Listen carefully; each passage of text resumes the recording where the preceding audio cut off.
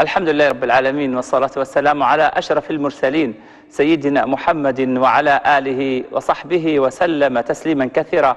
إخوتي أخواتي السلام عليكم ورحمة الله وبركاته. نحييكم في هذه الأمسية آه، من برنامج الإسلام والحياة والذي يأتيكم دائما آه، كل اثنين بإذن الله سبحانه وتعالى على تمام الساعة الخامسة مساء إلى الساعة السادسة. نستضيف في هذه الحلقة صاحب الفضيلة الشيخ حمزة أبو فارس حفظه الله تعالى والذي يجيب عن أسئلتكم واستفساراتكم آه، بعد 20 دقيقة من هذه الحلقة. بإذن الله سبحانه وتعالى. ونذكر على الإخوة ونذكر بأرقام الهواتف وخاصة الإخوة الذين يتابعون عبر الإذاعات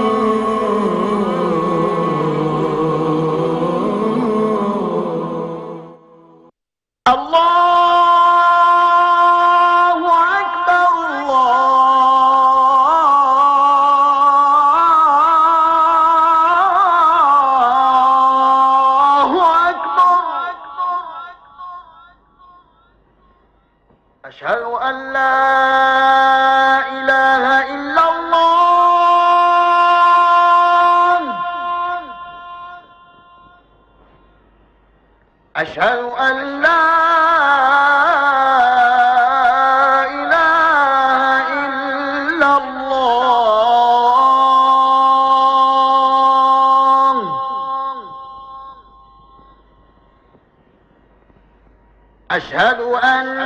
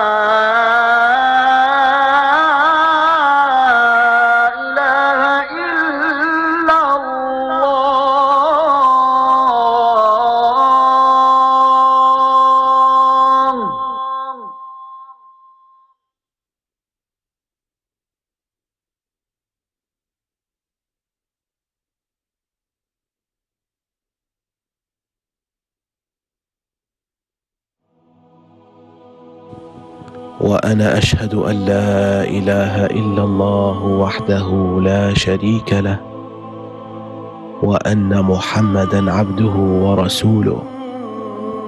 رضيت بالله ربا وبمحمد رسولا وبالإسلام دينا.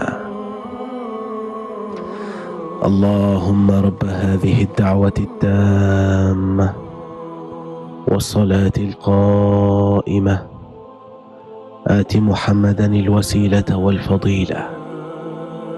وابعثه مقاما محمودا الذي وعدته. إنك لا تخلف الميعاد.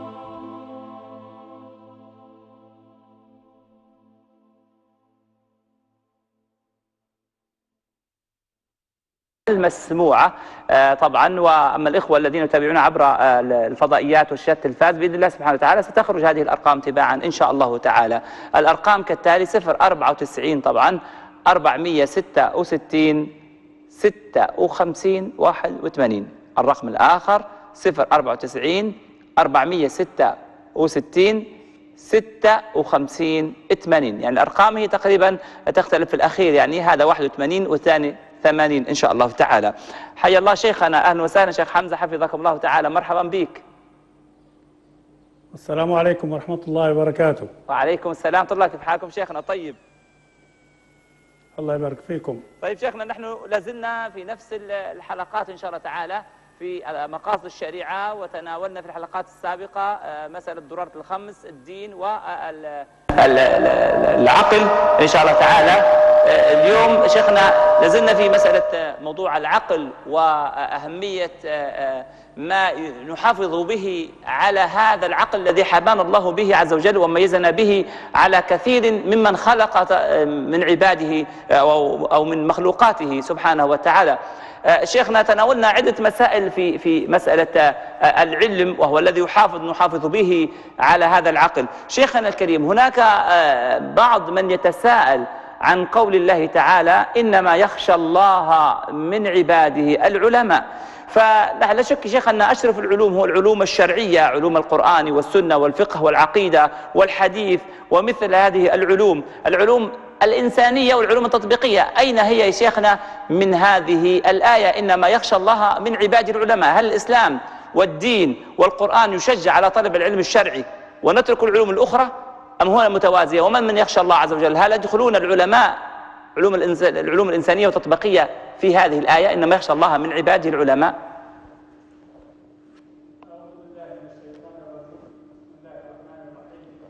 الحمد لله رب العالمين. والصلاة والسلام على سيدنا محمد أشرف المرسلين وعلى آله وصحبه ومن اهتدى بهديه وسار على نهجه واتبع سنته إلى يوم الدين. وبعد أحيي أحييكم وأحيي المشاهدين لهذه القناة. فبالنسبة لسؤالكم الكريم بالنسبة لقوله تعالى إنما يخشى الله من عباده العلماء هذه جاءت يعني تتحدث عن العلماء بصورة عامة نعم. لا تختص بتخصص معين نعم. وإنما و وإنما يعني آه، الذين يخشون الله سبحانه وتعالى هم المتخصصون سواء في العلوم الشرعية أو أو العلوم التطبيقية نعم. وهذه ملاحظة حتى على أرض الواقع فكلما يعني آه، استزاد الإنسان من العلم نعم. في أي علم من العلوم نعم. يقترب من من معرفة الله سبحانه وتعالى صحيح.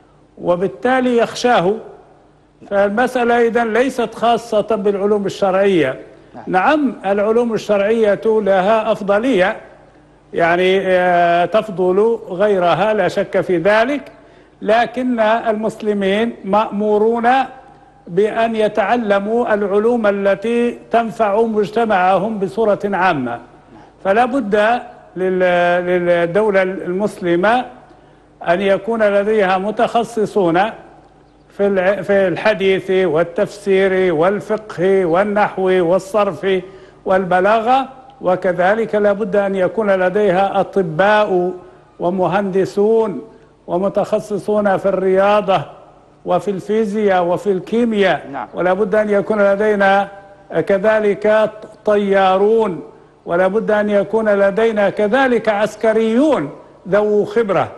لقول الله تعالى وأعدوا لهم ما استطعتم من قوة ومن رباط الخيل. فالمسألة كلها متكاملة. نعم. نعم. جزاكم الله خير شيخنا. بارك الله في شيخنا ال- العلم كما يقال هو الطريق الطريق الوحيد لمعرفة الحقيقة والوصول إليها. يعني فهل غير المتعلم يا شيخ؟ فغير المتعلم لن يصل إلى الحقيقة إلا أن يسلك طريق العلم. ولذلك نرى كثير من الناس أو الشباب أو تستهويهم الشهوات وال- والأعلام الفاسد والعياذ بالله آه، والأعلام المضلل آه، في أفكارهم في عقائدهم. آه، هل يا شيخ سببه هذا أنهم لم يسلكوا سبيل العلم؟ آه، لا أشك في ذلك نعم. من- من من تخلى عن طرق العلم فإنه سيبقى يعني جاهلا ويؤثر ذلك على سلوكه. نعم فأسباب ما يعانيه العالم الإسلامي الآن نعم. من آه، يعني آه، فتن وانحرافات آه، انحرافات مخالفة لما عليه الشرع. كل ذلك يرجع إلى قضية الجهل. وكل والجهل هذا مسألة يعني الكارثة فيه كارثة كبيرة. صحيح. فلا بد من لا بد من أن يسلك الإنسان العلم. والعلم كما ذكرنا أكثر من مرة نعم. لا حدود له. فلا يمكن أن يكتفي الإنسان بمرحلة معينة لأنه إذا ظن أنه قد تعلم وأنهى العلم فإنه قد جهل. فالعلو فالعلم لا حدود له ولا ولا ينتهي عند قدر معين. نعم. فإذا وجدنا شخصا نعم ترك العلم معنى ذلك أنه قد جهل.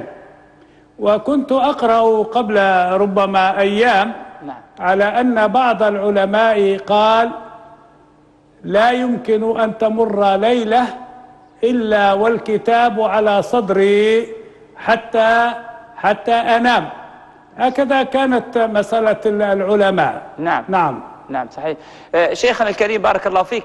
آه، ما نحن في هذه الأيام من آه، يعني آه، تجهيل أو جهل وإحنا سنوات طويلة شيخ نحن نعاني آه، من مسألة التعليم والتربية وغير ذلك.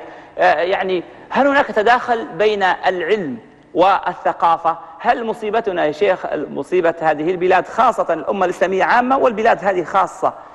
هل يعني سبب الأزمة الفكرية والعقلية لبعض الناس أو بعض الشباب خاصة لبعدهم عن الثقافة ككل ليس العلم الشرعي ليس الجلوس عند العلماء والفقهاء؟ هل الثقافة شيخ لها أثر في المعرفة؟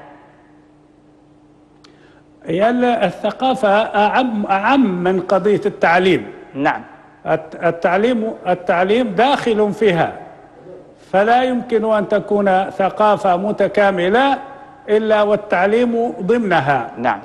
فمسألة دن ال- الث- الثقافة تؤثر فيها كثير من من الأمور من ضمنها العلم. نعم.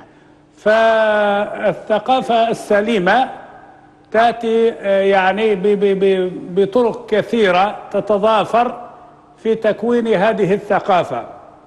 ولذلك نرى المجتمعات يعني في ثقافتها تختلف نعم.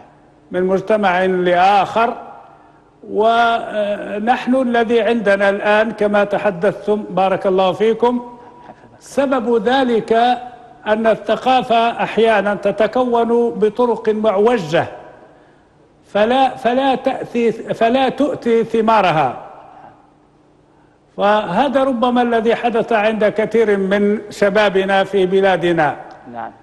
يعني عدم اتباع الطرق السليمة وعدم الاقتداء بالمشايخ وأخذ العلم عن العلماء يسبب, يسبب سبب هذه الأزمة التي نحن فيها. نعم. فإذا أرد فإذا أردنا أن تستقيم أمورنا فلا بد من الرجوع إلى الطرق الصحيحة في التعليم والتربية ولا بد أن يكون لدينا كذلك مكونات لثقافتنا. لا بد أن تتكون ثقافتنا بالطرق الصحيحة. لكن هذه لا بد أن يبذل فيها الناس جميعا آه، جهدهم ما أمكنهم. نعم.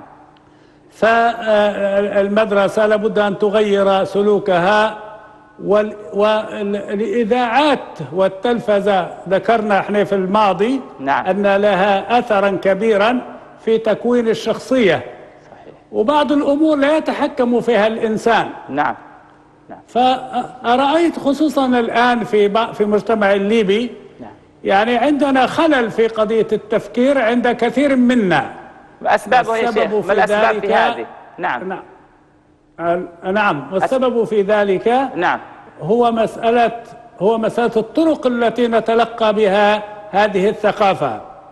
فإذا كانت الطرق معوجة فإن النتيجة ستكون كذلك.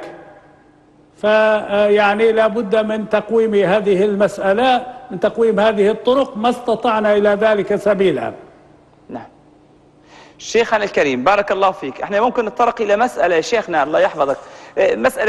ال- آه، يعني أن العلم هذا جاء ليحصن العقل وكذلك يوجه هذا الإنسان آه، لكن نجد أن بعض الناس من ينتسبوا للعلم حقيقة ونراها عبر التاريخ ونرى في هذه الأيام آه، بعض من يدعي العلم آه، آه، يخرج علينا في الإعلام ويخرج علينا في الص- الص- الصحافه هذه الأيام حرب على الإسلام ببعض الفتاوى يا شيخ غريبة. وهذا الرجل ينتمي إلى العلم. فما السبب في انحراف هذا الإنسان الذي يعني عنده العلم وتخرج من الجامعات ال- الإسلامية الكبيرة آه، ثم نجده ينحرف يعني آه، بفتاويه آه، ولا حول ولا قوة إلا بالله. مع أن العلم كنا يا شيخ يحصل العقل وهو من ال- الحمد لله الأشياء ال- الأساس ال- الأسباب التي تحصن العقل الذي جاء به الإسلام وهو الضرورات الخمس. لا, لا العلم ليس هو كل شيء. نعم. يعني أحيانا يكون الإنسان عالما عالما يعني جد العلم ومتخصصا في فرع من الفروع الدقيقة ولكن به خلل في عقله. فليست المسألة مرتبطة بكل يعني عالم لابد أن يكون سلوكه غير معوج. لا ولذلك نرى حتى في عالمنا بصورة عامة من يكون يعني يتقن تخصصا نادر أو أو نادر من من من يتقنه ومع ذلك تجد عقيدته فاسدة أحيانا. نعم صحيح. وإحنا دائما نضرب نضرب نضرب مثل في بمسألة آه، يعني بعض ال- العلماء الذين يعبدون الأشخاص صحيح. وبعضهم يعبدون الحيوانات نعم. وبعضهم يعبدون الأحجار. فمثلا إذا العلم ليس هو كل شيء نعم. ولذلك إذا لم يصاحبه يعني تربية سليمة تضعه على الطريق الصحيح ونذكر بأنه من قديم كان علماؤنا يتحدثون عن فريق من العلماء نعم. يسمونهم بعلماء السلاطين. بالضبط. هؤ- هؤلاء هؤلاء يؤثر عليهم مسألة المال فيوجهونهم كما يريدون. وهذه ستستمر إلى يوم القيامة. لن تنتهي يعني في مرحلة من المراحل. ولذلك أريد أن أنبه آه، أن ال- العلم لا لا ليس آه، ليس هو الوحيد الذي يقوم الشخصية. نعم. نحن نعرف من يعبد البقرة مثلا وهو متخصص في أدق العلوم مثلا وقس على ذلك. فمسألة إذن العلم آه، ليس هو كل شيء. أكرر ذلك نعم. يعني قصدي نقول يا شيخ يعني الذكاء ينقسم قسمين أو العقل عقلين عقل الهداية والعقل هذا اللي هو الذكاء حفظ المعلومات وكذلك. ممكن نقسم هذه التقسيمات يعني. هو أحيانا الذك- الذكاء يجر يجر إلى إلى قضية حفظ كثير من الأمور وإتقانها نعم. نعم. لكن أيضا حتى الذكاء ليس هو كل شيء. أحيانا ولذلك كثير من العلماء يقولون الذكاء الخارق أحيانا يوقع صاحبه في المفاسد. إذا دائما ال- ال- بالنسبة للحواس بصورة عامة سواء البصر أو السمع أو حتى العقل إذا زاد عن حده فإنه سيكون جناية على صاحبه. تتصور لو واحد سمع أكثر من اللازم فإنه لن يسمع شيئا تختلط عليه الأمور. نعم. وكذلك الذكاء الخارق كثير منهم من الأذكياء الخارقين من انتحر في النهاية. ف- فهذه المسألة إذا نعم الذكاء يساعد على الحفظ لا شك في ذلك. فإذا كان ذكاء معتدلا واعتني به وأنا أكرر دائما ونبه إلى أهمية التربية بالضبط. التي تصاحب العلم. نعم. فإن هذا هو الذي يصقل العقل ويجعله على الطريق المستقيم. نعم. إذا شيخنا نستطيع أن نقول يعني الذي يحصل العقل هو العلم لكن العمل لا بد منه لأن هناك عبادة وطاعة وتزكية لهذه الأنفس حتى يزكو هذا الإنسان ويكون يخشى الله سبحانه وتعالى. ولذلك شيخنا لعل جاء في الحديث آه، النبي صلى الله عليه وسلم يقول يا أبا ذر لأن تغدو فتعلم آية من كتاب الله خير لك من أن تصلي مئة ركعة ولأن تعدو فتعلم آه، فتعلم بابا من العلم عمل به واليوم يعمل به خير لك من أن تصلي ألف ركعة يعني يعني المقصود به يا شيخنا التربية أن الإنسان يتعلم لكن لابد أن يعمل حتى يثبت على الحق أليس كذلك؟ هو ضروري يعني القضية مرتبطة آه، قد بين بين العلم والعمل. نعم. فلا يصلح علم بلا عمل. لأن هو العلم العلم هو الذي سيؤدي إلى العمل. والثمرة هي العمل. فلا فائدة من العلم. ولذلك كانوا كان العلماء يقولون إذا إذا شخص تمكن من حفظ كتاب بأكمله أو عدة مجلدات. نعم. وكان عم وكان عمله مخالفا لما لما علم. يقولون هذه نسخة من الكتاب قد زادت في السوق أو في الشارع.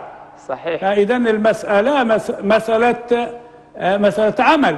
وقل اعملوا فسيرى الله عملكم. مسألة العلم فقط لا يصلح. نعم. لكن قلنا الأصل فيها أن العلم هذا يجر صاحبه إلى العمل. هذا الأصل. نعم. لكن أحيانا ينفصل العلم عن العمل فلا فائدة فيه. طيب شيخنا الكريم يعني ترى أن الأمة حتى تنهض من جديد بإذن الله سبحانه وتعالى لابد من الاهتمام بهذه المسألة وهي مسألة العلم. ترى يا شيخنا الكريم بارك الله فيك. نصيحة لشبابنا الذين يقبلون على طلب العلم الشرعي والعلوم الإنسانية والتطبيقية. يعني ما هي الاحتياجات لهؤلاء الشباب؟ يعني إحنا أحيانا بعض الأباء يوجه الابن إلى علم معين والولد ليس له رغبة في هذا العلم. ففي في مثل هذه المسألة هل هو يختار ما يريده الوالدين أو ما يختاره نفسه أو ما تختاره الأمة وتحتاجه الأمة في هذه العلوم لأن العلوم آه، يا شيخنا تحتاج الأمة أحيانا فرض أعيان واحيانا فرض كفاية العلم كذلك. صحيح هذا موضوع طويل آخر. نعم. لا لكن لكن الذي الذي أقوله بالنسبة للمسألة التي طرحتها يعني آه، بالنسبة للوالدين ليس لهما أن يتدخل في مسألة تخصص ابنهما أو بنتهما. نعم. لكن لهما أن يوجه الابن أو البنت إلى شيء ما يرونه يعني ضروريا للأسرة وللفرد نفسه وللمجتمع بأسره. فالنهاية المجتمع المفروض هو أن يستفيد لكن لابد من التنبيه إلى شيء آخر. نعم. وهو أنك لا تستطيع أن تدخل شخصا في تخصص لا يرغبه فإنك ستضيع الوقت ليس إلا. نعم. فلا بد من أن تدرس المسألة دراسة كافية أن يكون الشخص المتعلم لديه رغبة في هذا التخصص وأن تكون لديه القدرة في أن يستمر في ذلك وأن يشجع على ذلك وأن يكون مما هذا العلم مما سيفيد الأمة بأسرها. نعم. لكن إذا نقصت إحدى هذه الأمور فإن المسألة لن تؤتي أكلها. نعم. فإذا وجهنا شخصا إلى تخصص يحتاجه المجتمع وليس له القدرة على الاستمرار في هذا المجال فإننا كلفناه عنة ولا فائدة من ذلك. نعم. فالمسألة إذا لابد من أن آه، يعني تتوفر فيها عدة أمور مجتمعة. نعم. لكن المسألة يعني خطر ببالي أن هذه المسألة لابد أن تعتني بها الدولة. صحيح. فتكون فتكون في دراسات وبعبارة موجزة. الدولة مبنية في جميع أمورها على التخطيط. فلا بد أن تخطط للحاضر وللمستقبل وتوجه الناس هذا الاتجاه بعد دراستهم ومتابعتهم. ولذلك نجد كثير من الدول الأوروبية نعم. تت- تتابع النبيهين من الطلبة صحيح. في المراحل المختلفة نعم. فتوجههم وتأخذ بأيديهم إلى التخصص الذي تطلبه شركة ما أو دولة ما نعم. ف ف ف فتكون النتيجة في صالح من يربي الطفل ويوجهه إلى هذه المسألة. حفظك الله شيخنا. عذرا شيخنا نستقبل هذه المكالمة بإذن الله سبحانه وتعالى. تفضل يا أخي عبد الله مرحبتين. السلام عليكم. تفضل يا عبد الله. ممكن سؤال يا شيخ؟ نعم يا عبد الله تفضل أخي الكريم. مثلا الشيخ آه، آه، إذا تعارض قول مثلا في الموطأ آه، للإمام مالك وقول ابن قاسم في المدونة نأخذ يقول عادة يعني قال الملكية. أعد شيخ يقول- أرفع الصوت أخي الكريم ممكن ترفع الصوت؟ الأخ في الكنترول. ممكن نرفع آه، الصوت قليلا؟ آه. تمام. وجدت قولين آه، مختلفين. قولين قولان مختلفان. طيب. مختلفان نعم. آه، أحدهما في الموطأ والآخر في المدونة. أحدهما في الموطأ والآخر في المدونة. أيهما يؤخذ؟ بأيهما يؤخذ؟ بأيهما؟ طيب هذه مسألة علمية. طيب شكرا يا عبد أيوة الله. عادة عند آه، عند علم الفقهاء المالكية. ما هي عادة عندهم؟ حاضر يا عبد الله حاضر. سيجيبك الشيخ إن شاء الله. بارك الله فيك. شكرا. جزيلا أخي الكريم. نعم. نعم. طيب أخي الكريم. طيب شيخنا بارك الله فيك. آه، لازلنا في موضوع العلم والثقافة هذه كما ذكرت حضرتك المسألة واسعة جدا جدا جدا. بارك الله فيك. آه، يعني آه، هناك هناك شيخ علوم دنيوية تتحقق بها مصالح البشر.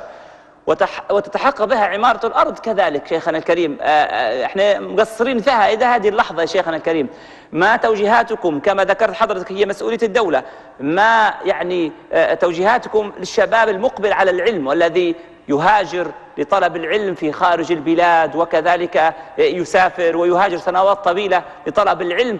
وأحيانا يترك العلوم يا شيخ اللي تحتاجها البلاد مثل ال- الآن نحتاج للعلوم السياسية الإعلام العلوم السياسية الإعلام علوم اقتصاد وغير ذلك. فهل يا شيخنا الكريم توجيه من حضرتك لهذه المسألة؟ قبل أن تجيب شيخنا نعم، معلش نس- نستقبل مكالمه عذرا. الأخ علي تفضل تفضل يا علي. عذرا شيخنا تفضل علي. نعم يا علي. أيوه السلام عليكم. تفضل تفضل أهلا وسهلا. ارفع صوتك قليلا. قلت لك يا شيخ نهوس في التكبير في الصلاة. كيف تدير؟ نعم. في التكبير في الصلاة قلت لك التفسير. التكبير التكبير. آه التكبير ما باله التكبير. نهوس فيه قلت لك لما نكبر نهوس من جديد. والله ما سمعتكش يا أخي يد الصوت أنا يعني ضعيف راهو. قلت لك في التكبير في نعم. واضح أنت يا أستاذ. التكبير ماذا؟ نهوس تكبير تكبير الإحرام نهوس فيها مهارات عديدة. التكبير فيه آراء عديدة؟ نهوس فيها نهوس فيها. لما يصلي نهوس فيها مرتين ثلاث أربع آه تعيد تكبيرة الأحرام عدة مرات. أيوه. آه يعني في وسوسة يعني. أيوه. طيب حاضر. شكرا. حاضر. إدريس. تفضل يا إدريس. يبدو أن عندي الصوت فيه مشكلة يا جماعة. حاولوا تصلحوه إن شاء الله. نعم. السلام عليكم ورحمه الله يا أهلا وسهلا. بالاخ إدريس تفضل أخي. وعليكم السلام ورحمة الله وبركاته.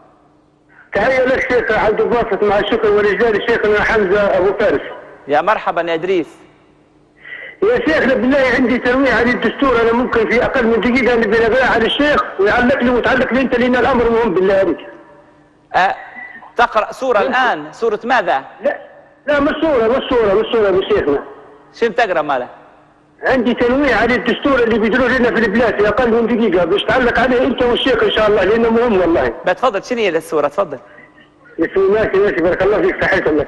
يا شيخنا يا شيخ حمزة أبو فارس بالله عليك أعلن رئيس اللجنة ال- التأسيسية ال- بتاع صياغة الدستور. أعلن بأن مسوده الدستور ستعرض على الشعب قريبا. وقال أرجو ان ان أن يصوت الشعب الليبي بنعم. نقول له يكفي حسب حسب نحن عرفنا الشعب ال- نقول له لقد استلمنا الإشارة بكل وضوح في مؤتمر صحفي الذي عقدته بمدينة البيضاء وأنت تتوسط أعضاء اللجنة وكانت تقف على يمينك عضوة وعلى يسارك عضوة وتضع الوردة الحمراء على صدرها وعلى يسارك و- و- ومن خلفك أشخاص للأسف انتقدناهم نحن لجهلنا بالحدث. وبدأت الحديث بقول أقسم بك يا ليبيا أدركنا بأن على دستورنا السلام لأنه من وضعه رجال شربوا العلمانية ولم يستطيعوا قيها والله المستعان. لذلك نطالب من دار الإفتاء وهيئة علماء ليبيا بالتوضيح للناس ومتابعة هذا الأمر عبر الإعلام وبكثافة هل هذا هل هذا الدستور يستحق نعم أم لا؟ وبارك الله فيكم وسامحونا أنتم طيب شكرا. العلاء تفضل يا علاء. ألاء؟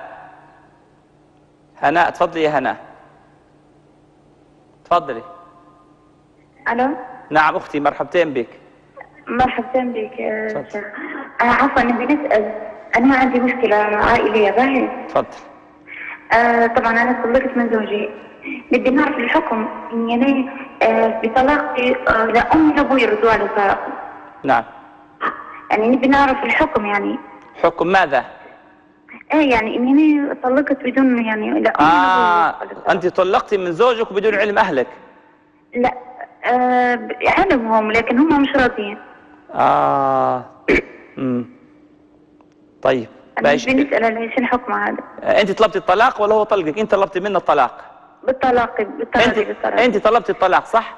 أنت أنا طلبتي. طلبت أنا طلبت. آه وأهلك مش أمك وأبوك مش راضيين. إيه تمام. طيب يا أختي هنا. حاضر حاضر أوكي. تفضلي هنا. نعم. نعم. سعد تفضلي يا سعد. السلام عليكم. وعليكم السلام شيخ تفضل يا سعد مرحبتين بك يا أخي.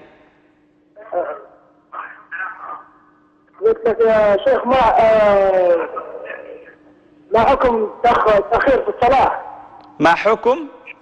التأخير في الصلاة. الت- مثلا آه، في وقت الظهر تصلي مثلا آه، الصباح ما تصلي صلاة الصبح يعني كيف آه، تحكم؟ يصلي وقت الظهر متى؟ في في توقيت لكن الصبح تكون ما تصلي إيه تصلي قبل الصبح ولا الظهر؟ يعني يصلي وقت الظهر مع العصر؟ أيوه بالضبط. باي طيب باي باي طيب. بعد الأذان يعني بعد ما يدي العصر هو يصلي الظهر. ولا قبله بشوية. طيب يا سعد سيجيبك الشيخ على جميع الأحوال إن شاء الله تعالى. نعم ما فيش تليفونات بعد قليل إن شاء الله تعالى. آه، شيخنا الكريم جزاكم الله خيرا. آه، يعني بعض العلوم الإنسانية يا شيخ التي تحتاجها الأمة. يا شيخ آه، مثل ال- الآن نحتاج إلى الإعلام أو ال- الاقتصاد أو علوم السياسية. تجد بعض الشباب يعني شيخنا أو يدخل لهذه ال- الأقسام وهذه الكليات هم أضعف الطلبة أضعف أو أقلهم والذي يعني لم يجد أي كلية تقبله. فما يعني يعني توجيهك يا شيخنا لمثل هؤلاء الشباب ليهتموا بمثل هذا العلم والدولة كذلك بهذا العلم الآن المطلوب يا شيخنا الإعلام والسياسة والاقتصاد وغير ذلك. هذه المسألة تكلمنا عنها في في في في حلقة ماضية وقلنا إن الدول المتقدمة تعتني أولا بكليات التربية. التي ستخرج المدرسين. نعم. ولذلك يعني الذي يحدث يحدث الذي يحدث في بلادنا هو العكس. إحنا بدل من أن نأخذ ال- الأوائل آه، فندخلهم في التربية حتى يدرسوا لنا أولادنا في المستقبل نحن ندخل من كانت درجاته ضعيفة هم الذين ندخلهم في مساله التربية. ويمكن أن ندخل في ذلك ما ذكرته في في في سؤالكم. مسألة نعم لابد أن الدولة تحدد الاحتياجات الضرورية وتهيئ لها من الطلبة من يستوعبها ويكون قادرا عليها ويفيد المجتمع فيها. ويمكن أن تجعل حوافز لهذه التخصصات لأن الناس في يعني بصورة عامة لهم ميول آه، يعني آه، مادية. فلا بد أن نشجع التخصصات التي نريد آه، أن أن أن يدخل فيها الناس لكي يخدم المجتمع. لابد من أن نشجعها بصورة عامة. إذا ال- ال- المسائل التي تهم الدولة والمجتمع لابد أن يجعل لها حوافز أكثر من غيرها حتى يدخلها من نريد أن يدخلها ويكون قادرا على ذلك. أما إذا جعلت له رواتب متدنية في حين بعض الأمور الأخرى التي يمكن أن يقوم بها آحاد الناس هي التي تشجعها وتضخم الراتب فيها معنى ذلك أنه سيحدث العكس أي النتيجة ستكون فاشلة. نعم. هذه المسألة مهمة جدا ما, ما ذكرتم وتقدرها الدولة. نعم. أما الأشخاص فلا يمكن أن يقدروا احتياجات المجتمع إلا نادرا. نعم. طيب شيخنا بارك الله فيك. نحن آه، نعتبره من الدول ال- للأسف المتخلفة كما يسمينا بعض الدول. الحقيقة أن إحنا تأخرنا عن ركب الحضارة وبسبب ال- الاستبداد والظلم والطغيان التي حدث لنا سنين طويلة لأمة الإسلام والدول العربية خاصة شيخنا الكريم. آه، مسألة شيخ اكتساب العلم والمعرفة عن طريق البحوث العلمية والبحث العلمي المنظم. يعني هو من أهم صور التحصيل العلمي الآن يعني الأمم كلها تهتم بهذه المسألة. لأن السبيل يا شيخ إلى حل المشكلات وكذلك ابتكار نظريات وتطويرها عن طريق البحث العلمي. فأين نحن شيخنا من هذه المسألة في تحصين الأمة وتحصين البلاد و... والاهتمام بهذه المسألة حتى نرتقي إلى أفضل وأحسن؟ يا أخي هذه المسألة تتصل بما ذكرنا سابقا مسألة لابد من وجود التخطيط. لابد من وجود التخطيط فإذا وجد لدينا التخطيط فإننا يمكن أن نصلح من من بعض أمورنا على الأقل. نعم. أما إذا ما زلنا كما كنا لا تخطيط لدينا فلن نصل إلى شيء. نعم. فلا بد أن يكون لدينا مخطط واضح ولذلك ترى الدول المتقدمة تراقب الطلبة في مدارسها وتختار منهم النوابغ فتعتني به في التخصصات اللازمة. ولذلك تجد حتى الشركات تتابع طالبا أحيانا من الإعدادية وأحيانا حتى من الابتدائية. وت- وتقدم له كل ما يحتاج. وقد سمعنا أكثر من مرة في البرامج المرئية والمسموعة أن طالبا في السنة الأولى الإعدادية كان عبقريا في تفكيره اعتنت به الشركات وقدمت له كل ما يحلم به حتى ينهي درا حتى ينهي دراسته كما تريدها هذه الشركة فيستفاد منه في المستقبل استفادة كبيرة وتعقد معه عقدا لازما وطويلا و و و وتقدم له كل ما يحتاجه بل أكثر مما يحتاجه. نعم. هكذا المفروض الدول كلها بصورة عامة. نعم. شيخنا طيب. عندئذ نصل إلى مصاف الدول المتقدمة. نعم. طيب حفظكم الله. شيخنا هذا كله نتحدث عن مسألة ال- الضرورات ال- ال- ال- الضرورات الخمس. تكلمنا عن الدين والنفس والعقل. شيخنا تحدثنا عن العلم الآن. هل عندكم شيء يا شيخ في هذه المسألة من ناحية ال- الوجود يعني العقل من ناحية الوجود والعدم؟ هل عندكم زيادة يا شيخ نعم. تفصيل؟ نعم. ال- بالنسبة للعقل من الأمور المؤثر من الأمور المؤثرة فيه في جانب الوجود مسألة التوعية والوعظ. جميل. فلا بد من وج... في المجتمع من وجود طائفة تعظ الناس وت... و... وتوعيه... وتوعيهم وتعتني بهم في هذا الشأن. لأن قضية التذكير التذكير وربطهم دائما بالله سبحانه وتعالى وبالآخرة وأنهم آيبون إليها ولا شك هذه محتاجة دائما إلى إلى التكرار. نعم. وذكر فإن الذكرى تنفع المؤمنين. ولذلك لا بد من وجود طائفة في المجتمع يعتنون بهذه المسألة فيعظون الناس ويذكرونهم بما لهم وما عليهم. ولذلك لا بد وهذه تر- ترجعنا إلى ما تحدثنا عنه سابقا مسألة الأمر بالمعروف والنهي عن المنكر. نعم. فإذا اختل هذا الأمر في مجتمع فإن النتيجة ستكون كارثة عليه. نعم. لا بد ولذلك إحنا ليس عندنا ما يشاع عند في في في عند الناس في الشوارع وكذا خصوصا عند الجهلة. آه، سامحني في الكلمة بالعامية أن كل شاه معلقه بكراحها لا ما عندناش هذه المسألة. نحن مسؤولون. نحن مسؤولون عن بعضنا. ولذلك مسألة الأمر بالمعروف عن المنكر مسألة مهمة. نعم. نعم. فلا يقال لا هذا ما عنديش دخل به لأنه ليس قريبي وليس في عائلتي. إحنا عندنا لا يؤمن أحدكم حتى يحب لأخيه ما يحب لنفسه. وعندنا مسألة كلكم راعي وكلكم مسؤول عن رعيته نعم. فلا بد من الاعتناء بمسألة الوعظ والتوعية. فلا بد أن يكون في هناك فريق في المجتمع يقوم بهذه المهمة. نعم. مسألة أخرى تتبع نفس الموضوع الذي نحن فيه. نعم. وهي مسألة تشجيع التفكير الصحيح. تشجيع التفكير الصحيح والثقافة المعتدلة. نعم. لا بد أن تكون مهمة الدولة وتخطيطها تشجيع, تشجيع آه، هذه المهمة. أعني آه، ال- الثقافة ال- الوسطية والتفكير الصحيح حتى لا يضيع شبابنا. نعم. وهذه لابد أن يتعاون فيها الأفراد والجماعات والدولة كذلك. نعم. فهذه كلها تخرج لنا عقلا معتدلا غير ذي شطط. نعم نعم. نعم. شيخنا الكريم بارك الله فيك مسألة التوعية أنت ذكرتها وهو من الأشياء التي تحصل العقل والوعظ.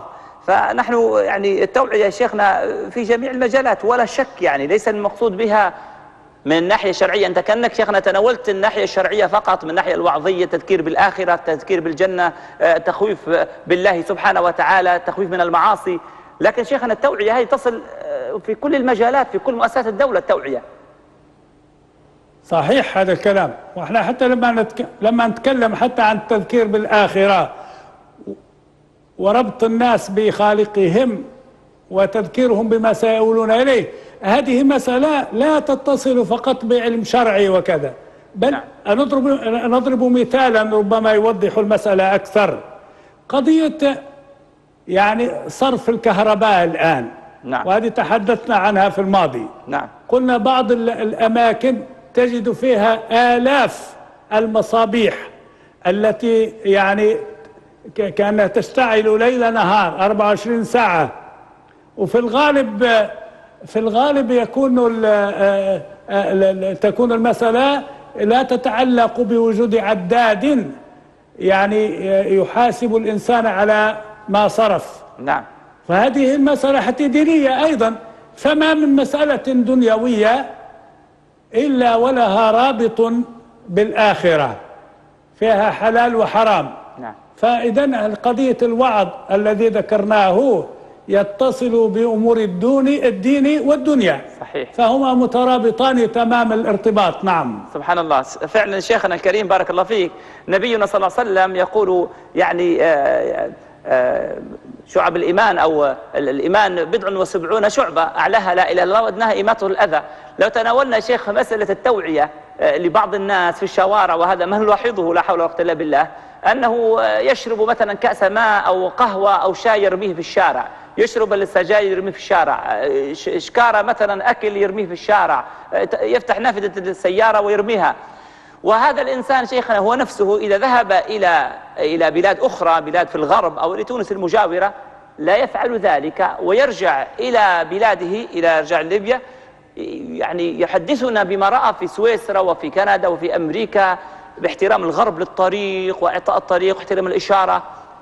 يعني ما نصيحتك لمثل هؤلاء؟ لماذا التفريق؟ انظر إلى نبينا صلى الله عليه وسلم هو الذي حدثنا بأن ماط الأذى عن الطريق صدقة. هذه هي آه، هذا داخلة في حديثنا السابق. يعني مسألة الثقافة لها أثر كبير جدا. ونحن ثقافتنا للأسف فيما ذكرتم من أمثلة. نعم تجد من آه، يطرح شيئا كان يأكله أو كان يشربه عليك وأنت في سيارتك خلفه. هذه بكثرة كاثرة. فهذه المسألة تعودنا عليها و وأصبحت يعني مألوفة عندنا. نعم. والمسألة إذا تتصل بأمرين. نعم. الأمر الأول يعني الثقافة التي تربى عليها الإنسان ووجود قانون رادع. السبب الذي تتحدث عنه أنه عندما نذهب إلى الدول الأخرى ولو إلى جيراننا فإننا سننضبط. هذه السبب فيها الخوف. صحيح. والخوف ضر والخوف ضروري كذلك لأن الإنسان الإنسان حتى ولو كان غير معوج الفكر لا شك أنه سيقوم نفسه وسيطبق ما قرأه. لكن ضروري من وجود بعض الناس لا لا يرهبهم إلا العقوبات والقوانين الرادعة. هذا صحيح. وهذا الذي حدث لنا نعم عندما نذهب إلى دول أخرى نلتزم بقوانينها لأنهم لن يتساهلون معنا. فإذا رجعنا إلى بلادنا ليس فيها قوانين طبعا. فإننا س... فإن الثقافة السائدة عندنا هي التي ترجع من جديد فتتحكم فينا. طيب شيخنا نستقبل المكالمة هذه من أم محمد. شيخنا نعتذر عن انقطاع. نعم يا أم محمد تفضلي. تفضلي أختي. السلام عليكم. وعليكم السلام ورحمة الله. كيف حالك يا أستاذ؟ حالك باهي يا مرحبا يا أم محمد. أهلا وسهلا أختي تفضلي. أهلا وسهلا كيف حالك يا شيخ؟ يسمع فيك الشيخ يا شيخ. الله يبارك فيك. ال- الله يبارك فيك. بالله عليك يا شيخ أنا ودي من يدعي لي بالله عليك. أنا ظروفي صعبة يا شيخ. نعم. وال... والله يا شيخ أنا ما تعبانة وجوزي مريض وأنا ونسكن بالإيجار وبالحالة تعرف المعاشات ما فيش.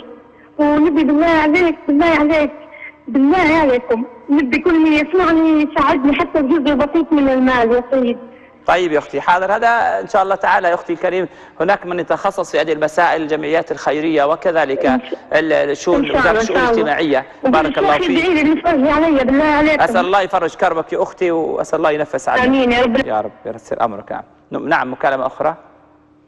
نعم. لا توجد مكالمة. الأخت منى تفضلي يا أختي منى. مرحبتين وأهلا وسهلا بك. ألو. أهلا وسهلا يا أختي تفضلي. مساء الخير. سماء مساء النور مرحبتين تفضلي يا أختي. أنا من فشلون تفضلي يا أختي تفضلي. ما نسمع فيك يا منى تفضلي يا أختي. ودك نبي نسألك عم نبي نسأل الشيخ. تفضلي يا أختي. أهلا وسهلا بك سالت المداهمات في تسلم صح ولا لا؟ نعم. سالت المداهمات في تسلم شد المجرمين؟ آه آه، المداهمات. نعم نعم لي- يعني هنا وفي نعم. ناس نعرفوهم في مكانهم قاعدين. موجودين لازالوا إيه في امكانات معينة. طيب. يعني نقدر نبلغ عليهم حلال ولا حرام طيب يا أختي حاضر. شكرا يا منى نسأل الله أن يحفظك بحفظه تفضل يا أحمد. نعم يا أحمد. السلام عليكم. وعليكم السلام ورحمة الله وبركاته شيخ عبد الباسط كيف حالك؟ مرحبتين يا أحمد. نهارك طيب يا شيخ عبد الباسط شنو أمورك؟ نهارك سعيد أخي أحمد. تفضل أخي الكريم. الله يسامحك. الله يسلمك. أنا يا أحمد. أنا يا شيخ بدي نسألك تفضل. منور الشهر يا شيخ أنت والشيخ إن شاء الله. نعم. منورين الشاشه أنت والشيخ يا شيخ والله ما سمعتكش كويس. قلت لك منورين الشاشه يا شيخ آه بارك الله فيك منور يا أحمد. منور جزاك الله خير. بارك الله فيك كنت بنسلم عليكم بك على الله مباشره بك يا شيخ شكرا جزيلا. يا أحمد بارك الله فيك على هذا السلام. شكرا يا أخي كريم نعم ناخذ مكالمة أخرى والله ننتهي.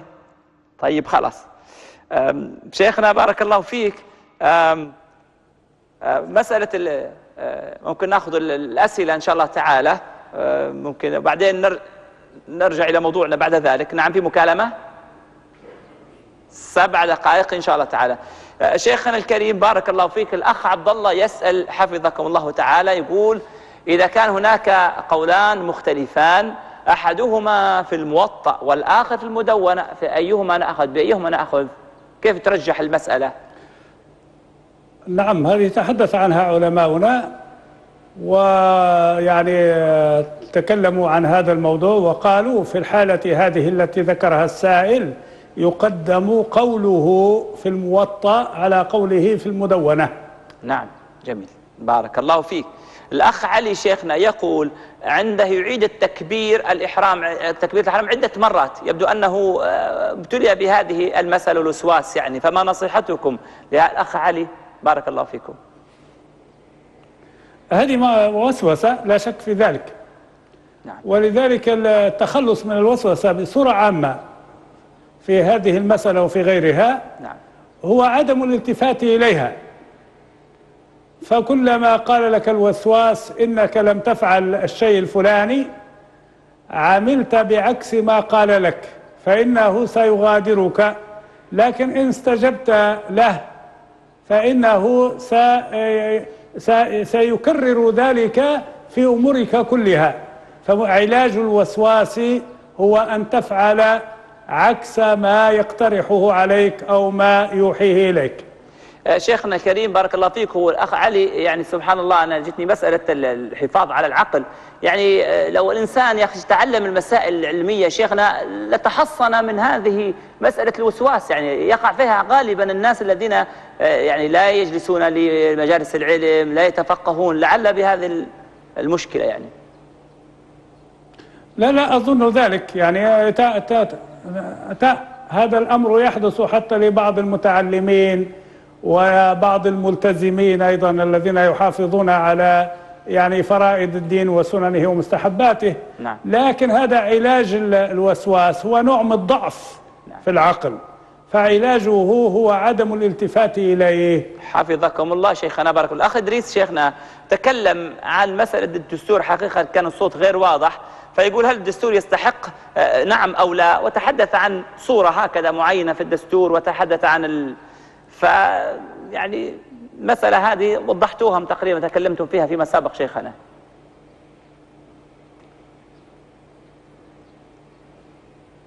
نعم شيخنا. نعم آه، أنا لا لم أسمع ما قال صاحب السؤال حقيقة. الصوت كان آه، شوية هيك ملخبط يعني لعل أيوة إن شاء الله. نعم. أيوة ما أنا ما سمعت منه شيئا. طيب خير شيخنا. الأخت هناء بارك الله فيك شيخنا تقول آه، طلبت الطلاق من زوجها وطلقها. زوجها ولكن والديها غير راضيين أمها وأبوها مش راضيين عن المسألة هي. فما حكم هذا الطلاق وهي اللي طلبت الطلاق يعني. هو الطلاق واقع سواء سواء رضي به الوالدان أو لم يرضيا النتيجة واحدة لما طلبت الطلاق فطلقها معناها وقع الطلاق. فإن كان رجعيا أي طلقة واحدة وندم على ذلك وهي ندمت بإمكان التراجع. نعم. كما هو معلوم. وإذا كانت المسألة يعني آخر تطليقة مثلا نحن لا نعرف التفاصيل آه، فإنه لا تصلح له زوجة حتى تنكح زوجا غيره. نعم. نعم. بارك الله فيك شيخنا. آه، لكن شيخنا آه، معلش هي مسألة أخرى. حكم طلب المرأة الطلاق من زوجها بغير سبب أو بسبب يعني يجوز ذلك؟ المرأة تطلب الطلاق؟ لا بدون بدون سبب المفروض لا يجوز لها ذلك. هي يعني لأن هي الطلاق هذا يعني لا يلجأ إليه إلا في عند تعذر العيش السعيد. نعم. فلكن مجرد طلبة الطلاق بدون سبب لا شك أنها ربما حتى ارتكبت حتى حرمة. لكن الطلاق واقع. طيب شيخنا الأخ سعد يسأل ما حكم التأخير في الصلاة؟ يعني يؤخر الصلوات اللي بعضها مثلا أنا سألتها قلت تصلي يصلي الظهر مع العصر ممكن أو يأخر الصلوات يعني. ما حكم تأخير الصلاة؟ لا هو أنا اللي سمعت سؤاله. نعم. وكان يتحدث عن إذا دخل الظهر وهو لم يصلي الصبح. نعم, نعم. هذا الذي سمعته في سؤاله أيه. ومع ذلك نحن نجيبه. طيب جميل. إحنا عندنا قضية قضية التأخير الصلاة لغير عذر. من نوم أو ما شابهه أو إغماء أو شيء من هالقبيل ممنوع التأخير. نعم. لكن هو ربما يسأل عن قضية ترتيب الصلوات. نعم. ترتيب الصلوات كالآتي. عندنا مشتركتا الوقت اللي هنا الظهر والعصر والمغرب والعشاء. هذه الترتيب بينهما واجب شرط. بمعنى من لم يرتب بينهما فقد ارتكب إثما وصلاته باطلة. يعني لو لو آه، يعني لم يصلي الظهر. نعم. حتى زي الوقت الآن اللي نحن فيه. نعم. لم يصلي الظهر ولا العصر. نعم. فقال خلي نصلي العصر هو الأول. هنا صلاته للعصر باطلة وارتكب إثما. فالمفروض أن يصلي الظهر أولا ثم يصلي العصر بعد ذلك. وكذلك يقال أو هذا ما يقال كذلك في المغرب والعشاء. نعم. لا بد من هذا الترتيب. أما الصلوات الفائتة نعم. فهذه فيها تفصيل عند العلماء. المالكية حكمهم كالآتي. إذا كانت هذه الصلوات قليلة أي الفائتة يعني خمس صلوات فأقل فهذا ترتيبها واجب غير شرط. بمعنى هذا صاحبنا لم يصلي مثلا المغرب مغرب أمس نعم. وعشاء أمس نعم. وصبح اليوم. نعم. ثم انتبه عند الظهر بعد ما دخل صلاة الظهر هذا يصلي المغرب والعشاء والصبح ثم يصلي الظهر الآن. لأن هذه صلوات قليلة أقل من خمس. أما إذا كانت الصلوات كثيرة نعم. يعني أكثر من خمس نعم. على قول وأكثر من وأكثر من آه، من ستة على قول آخر نعم. فإن آه، الترتيب ليس واجبا ولا تبطل به الصلاة. صلى الله يحفظ شيخنا بارك الله فيه ويرزقه الصحة والعافية وأن يبارك له في علمه وعمره وأن يختم لنا وله بالإيمان. إخوتي أخواتي جئنا نهاية الحلقة وإلى الملتقى في الحلقة القادمة إن شاء الله تعالى. وأستودعكم الله الذي لا تضيع ودائعه. والسلام عليكم ورحمة الله وبركاته. هداية وقاية منا.